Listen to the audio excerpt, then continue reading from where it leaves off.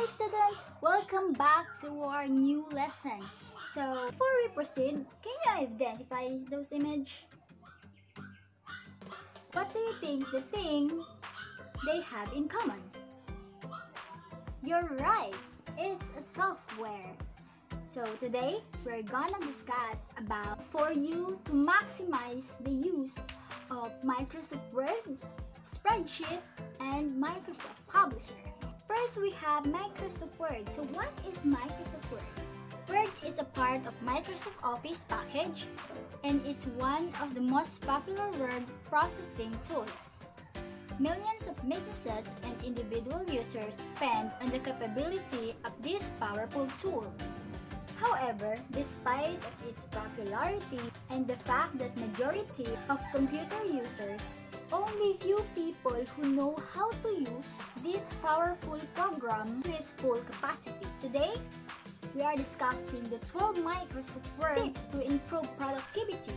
First, we have auto recovery and auto save document.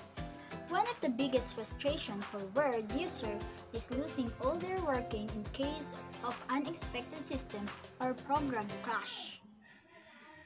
For this reason, it is important to keep saving your document after you make a few changes. You can just set auto-save option in the Word settings. Next, we have Recover Save Documents. You can also recover unsaved documents by navigating through File, Info, Menu, under Manage Version, click Recover Unsaved. This open a list of unsaved files. Double-click a file to open. Click Save As to open and save a copy of the file. Next, we have Customize Paste option. Copy and paste combination is very helpful when you are working on a Word document, but at times it can get tricky, especially when you are pasting a preset format. Here you can customize your paste. 49 we have using Word Clipboard. If you are copying previous blocks of text or images, you can increase your productivity by storing the various copies in Clipboard. Fifth, we have maintaining format consistency with text style. When you want to style a particular portion of your document, then highlight the text and select one of the text style on the Styles ribbon under Home menu. By applying proper formatting you to your documents, you can easily convert Word's documents to beautiful PDF ebooks. Six, we have applying styles quickly. You probably know applying formatting one of the segment to another segment using Format Painter. Number 7, we have use table of content. Create document with appropriate headings. The headings facilitate easy navigation or outline view and help when generating an automatic table of content on Reference tab. Number 8, we have navigation pane to move, to move content block. The navigation pane helps you easily drag and drop the content blocks. You can enable the navigation pane under View menu.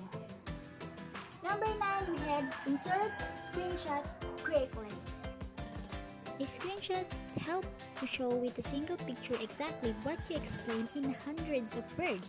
In order to insert screenshot in the Word, just go to Insert and Screenshot menu. Number 10. Adding divider. Uh, do you know that type 3 dots and clicking Enter key will create a full wheel divider line in the Word document? Try with different keys, like asterisk, to create different types of divider. Number 11, we have Insert Pull Quotes. Having thousands of words without any picture or table in document makes people bored. Don't worry, you have an option to insert colorful quotes to keep reader on your document. Number 12. Master keyboard shortcuts. Can really save you time when working on Word document. Control S to save Control V to paste, Control A to select all, and, and many more. Next software we will discuss is about Microsoft Spreadsheet. An intuitive and accessible piece of online spreadsheet software. Free to use, you can create and edit spreadsheet directly on your web browser without installing anything. Ideal for collaborating in real-time tool. Multiple people can work in same file simultaneously, meaning you can see people's changes as they're made and everything is saved automatically. Working with Google Sheets can save your company or team a lot of time. Now here's the 10 tip and trick on using spreadsheet. Number 1. Freeze row and columns. When you're working with large volumes of data, it's easy to get lost. This is a problem when you can see the column name in the head row. Number 2.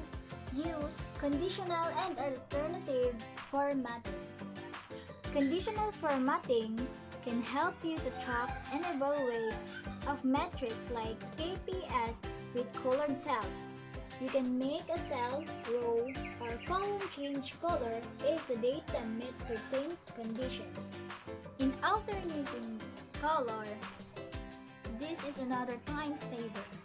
If you want your rows have alternative colors in Google Sheet, hit the Format option from the menu at the top and then click Alternating Color. Choose default template or choose custom colors. Third, use add-ons. They small program built by developers that enable you to do more with the spreadsheet or file. Fourth, we have use templates. Templates are one of the best way to save time when you and your colleagues are working in G-Suite. Google offers many time-saving templates for you to use. 5. Learn how to use comments and notes. You can simply add information about the cell. 6. Use Google Form with Google Sheets. Google Forms help you plan events, conducting a survey poll, give student a quiz, or collect other information in an easy, streamlined way. Number 7. Click the version history. Users with edit access to a file can view a full history of a Google Sheet. You can revert to early version of the file and see which person made specific edits. Number 8. Find and replace. Manually finding and replacing part of the text can be exceedingly uh, tedious for big spreadsheets. With the find and replace function, you can easily make a revision.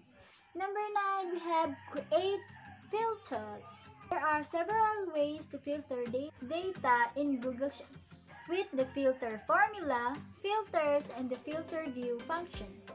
You can sort your data numerically or alphabetically. Select cell you want to sort. And then, we have protected sheet and ranges. Google Sheets is great for collaborating but sometimes you might want to lock part of the spreadsheet to prevent others from making edits. You can do this with named and protected ranges. That's all for spreadsheet. Now let's move on on the last software we have Microsoft Publisher is a desktop publishing program that allows users to create professional quality publications according to Microsoft. The program offers many options, designs, and fonts, and that can be used to make magazine, newspapers, samples, and many more. So here's are the 10 tips on using Microsoft Publisher flawlessly. Number one, we have page size. You can start a new document or change a current document to any page size you like. Number two, the nudge option. For a high degree of control over the positioning of objects on the page, use the nudge option. Just select the object you need to move, alternate arrow key, either up, down, left, right, and your object will move one pixel for each keystroke. Use arrange node to change the increment of movement. Number 3. Absolute positioning. Even better, go to format size and position and use numerical value to position and size object. This is the absolute best way to make sure things will look right when you're going to press with a design. Do the math and use this method when you want your design elements to be positioned exactly.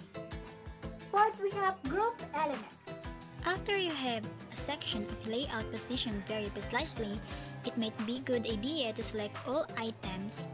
This will lock them together in their relative position. Number 5. Automatic wrapping. You don't have to press enter at the end of each line, just at the end of paragraph. Simply type away and let publisher wrap the text automatically. Number 6. One space or two. Instead of putting two spaces after each sentence, you put one. This is standard in industry. 7. Putting things on the background. Publisher uses foreground and background layers. Your work will go on the foreground by default unless you set it to be in the background. You might want to use image or text in the background. Number 8. Remember to print a hard copy. It's very easy to miss mistakes in your document where you're looking it only on the screen. Print it out and look at it. Check for spelling errors, spacing problems, inconsistencies, and design problems. 9. Spacing and alignment. Click the alignment of frames, text, pictures, and captions. It should be consistent throughout your publication. Also check spacing between headings, paragraphs, and pictures. The spacing should be consistent throughout your publication. And spelling and punctuation. Don't forget to check your spelling, punctuation, and grammar. Run the spelling checker. Another good one is to check accuracy of hyphenation. It's a good idea to have someone else to look at it too. That's it for today's lesson. Thank you for listening. Bye-bye!